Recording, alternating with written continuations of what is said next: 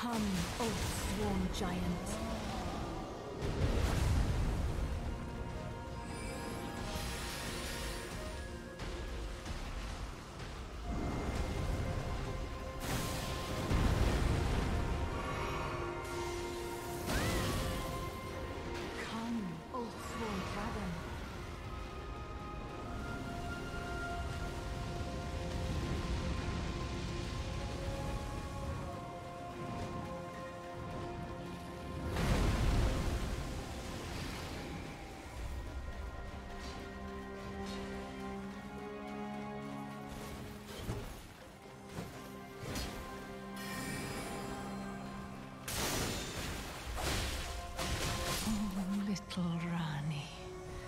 My dear daughter, weave thy night into being.